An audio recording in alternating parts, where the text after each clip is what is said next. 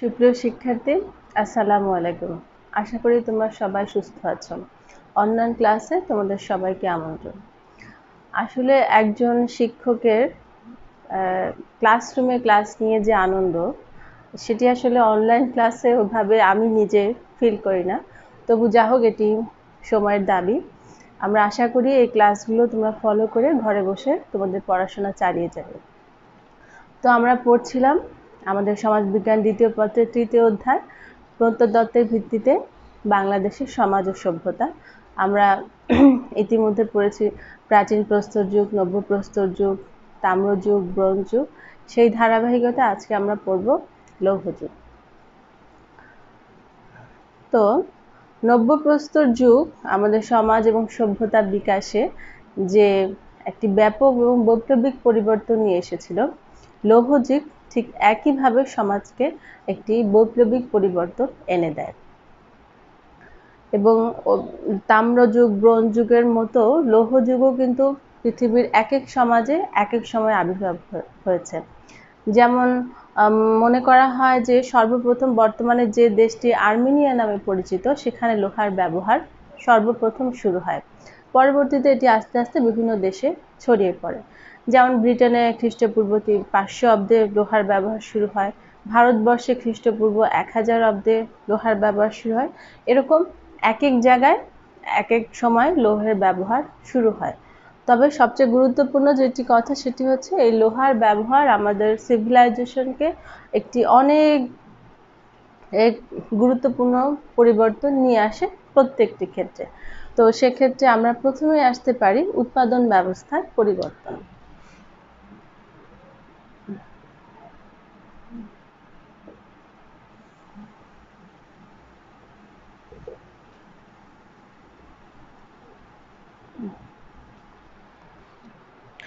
উৎপাদন ব্যবস্থার পরিবর্তন সবচেয়ে বেশি গুরুত্বপূর্ণ। তাই সেটির কারণ হচ্ছে প্রস্তর যুগে, তারপর হচ্ছে গিয়ে তাম্র এবং ব্রঞ্জ দিয়ে যে ধরনের হাতিয়ারগুলো তৈরি হতো, সেগুলো কিন্তু লোহার চাইতে অত, লোহার মতো অতটা ধারালো ছিল না।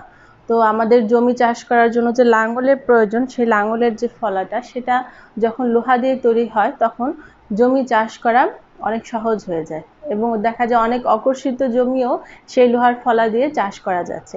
এতে করে উৎপাদন বহু অংশে বৃদ্ধি পায়। এবং হচ্ছে গিয়ে মানুষ প্রচুর জমি চাষ করা শুরু করে।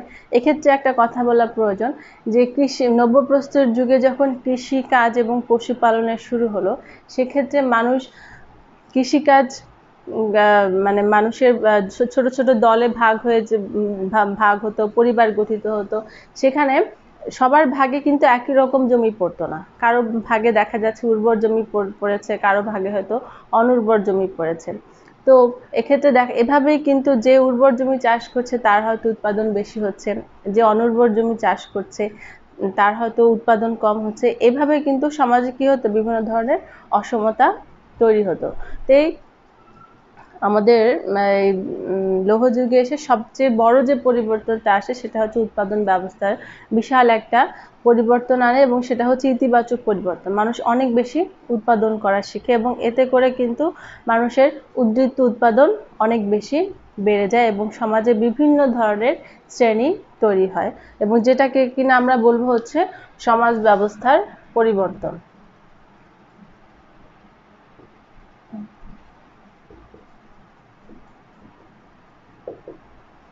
অর্থাৎ উৎপাদনে ব্যাপক পরিবর্তনের ফলে বিভিন্ন ধরনের শ্রেণি তৈরি হয় এবং উচ্চবিত্ত, মধ্যবিত্ত এই ধরনের বিভিন্ন ক্লাসিফিকেশন যদি আমরা করি, সেগুলো সৃষ্টি হয়। সামাজিক স্তর বিন্যাসের অনেক বৃদ্ধি পায় এবং এটা লৌহ যুগে এসে মানুষের ভেতরে যে যে যার হয়তো উদ্বৃত্ত বেশি আছে, তার একটু আরাম আয়সে করে জীবনযাপন করার চিন্তা ভাবনা চলে আসে এবং সে কি করে?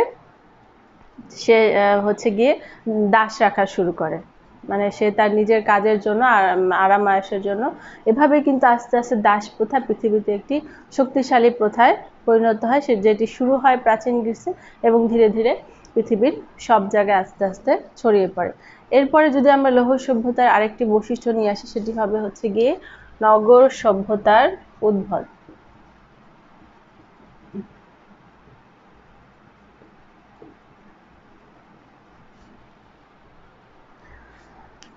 লোহযুগে এসে বিভিন্ন বিষয়ের কারণে নগর নগর তৈরি হতো। তার ভিতরে একটি কারণ ছিল যেখানে লোহা ছিল, লোহার খনি যেখানে ছিল, সেখানে লৌহ উত্তোলন, লোহার হাতিয়ার নির্মাণ, এগুলোর উপর নির্ভর করে এক ধরনের নগর সভ্যতার তৈরি হতো।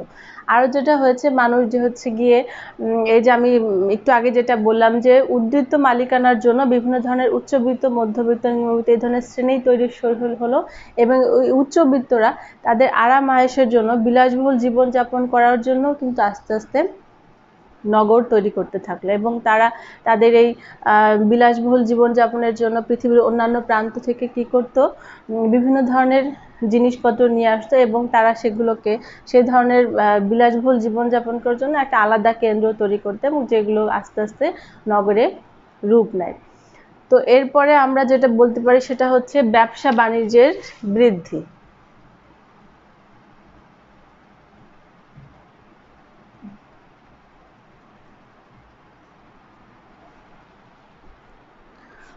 লৌহযুগে এসে মানুষের উৎপাদন অনেক গুণ বৃদ্ধি পায়। মানুষের হচ্ছে গিয়ে লোহার খনিকে কেন্দ্র করে বিভিন্ন ধরনের কাজ শুরু হয়। খনি উত্তোলন এক ধরনের কাজ, সেগুলোকে উত্তোলন করে আবার হাতে নির্মাণ করা এক ধরনের কাজ এবং এগুলো পৃথিবীর এক প্রান্ত থেকে আরেক প্রান্তে লেনদেন।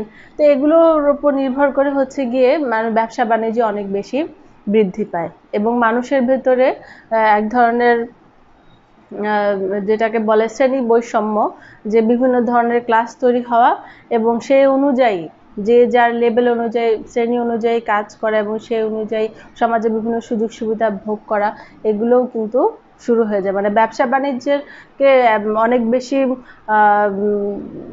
অনেক ব্যবসা বাণিজ্য অনেক বেশি মানে বিরাট আকার রূপ রূপ লাভ করে বলা যায় যে, এবং সেই অনুযায়ী মানুষের ভেতরে বিভিন্ন ধরনের শ্রেণীভেদ তৈরি হয়। এরপরে আমরা আসব হচ্ছে গিয়ে শ্রম বিভাগ বৃদ্ধি। লৌহযুগে এসে কৃষিকাজ যেমন একটা, এক অংশে আলাদা হয়ে যায়। যারা খনি, খনিতে, খনি বিশেষজ্ঞ দল একটা আলাদা শ্রেণি তৈরি হয়ে যায়। আবার হচ্ছে কি যারা এই খনি থেকে উত্তোলন করে লোহা দিয়ে হাতিয়ার নির্মাণ করে তাদের একটা শ্রেণি তৈরি হয়ে যায়। এই হাতিয়ার নির্মাণ করার জন্য আবার বিভিন্ন ধরনের শ্রমিক দরকার, তারপর হচ্ছে সেগুলোর কলাকুলি, কুশলের দরকার। এইভাবে মানে একজন, আমরা যেটা হয়, সমাজের একটা শ্রেণি আরেকটা শ্রেণি থেকে বিচ্ছিন্ন হয়ে যায়। প্রত্যেকের কাজ আলাদা আলাদা হয়ে যায়। তো যারা হচ্ছে যেমন বর্তমানে আমাদের যেমন আইসিটির যুগ, যারা কিনা আইসিটি এক্সপার্ট তারা যেমন একটু বেশি প্রাধান্য পায়, ঠিক একইভাবে ওই সময় এই লোহার খনির সাথে যারা সংযুক্ত ছিল বা এই বিষয়ে যারা কাজ করতো, তারা কিন্তু সমাজে একটা আলাদা মর্যাদা পেত। আর হচ্ছে যারা কৃষক, তারা হয়তো কৃষিকাজ নিয়ে থাকতো এবং যারা এবং হাতিয়ার নির্মাণ করতো তারা হয়তো বা দেখা যাচ্ছে শ্রমিক লেভেলে চলে যাচ্ছে। এরকম বিভিন্ন ধরনের পেশার তৈরি হয় এবং এভাবেই কিন্তু শ্রম বিভাগ বা শ্রম বিভাজন অনেক বেশি বৃদ্ধি পায়। এরপর আমরা যেটা আসতে পারি সেটা হচ্ছে লিখন পদ্ধতির উন্নতি। আমরা জানি লিখন, লিপি আবিষ্কার বা লেখার ইয়ে কিন্তু অনেক আগেই হয়, নব্যপ্রস্তর যুগ থেকে এটা হয়ে আসে। কিন্তু এই পর্যায়ে এসে যেটা হয় যে, আমরা জানি ব্যবসা বাণিজ্য যেহেতু অনেক বেড়ে যায়, তো সেখানে হচ্ছে গিয়ে যে ধরনের, বিভিন্ন ধরনের চুক্তিপত্র, লেনদেন, তারপর হচ্ছে গিয়ে তাদের যে ব্যবসায়িক বিভিন্ন কাজকর্ম, এর জন্য লেখার প্রচলন মানে নিজেদের প্রয়োজনেই তারা লিখিত রূপটাকে আরও অনেক বেশি উন্নত করে নেয়। এরপরে যেটা আসবে, সেটা হচ্ছে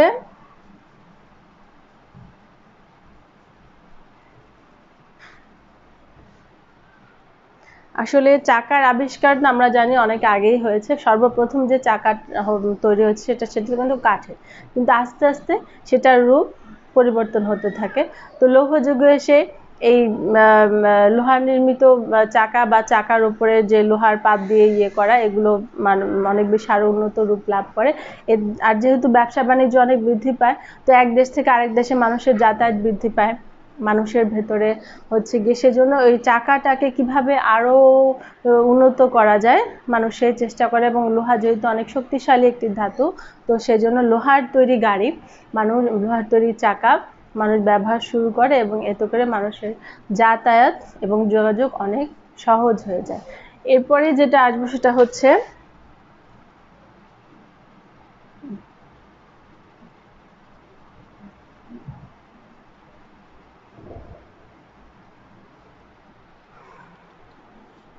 আমাদের প্রাচীন প্রস্তর যুগ, তারপর হচ্ছে নব্য প্রস্তর যুগ, এই যুগগুলোতে মানুষের ভেতরে ধর্ম নিয়ে কিন্তু এক ধরনের কি বলব, ধর্ম মানেই হচ্ছে তাদের হচ্ছে অতি প্রাকৃতিক বিশ্বাস বা অধিভৌতিক কিছু একটা।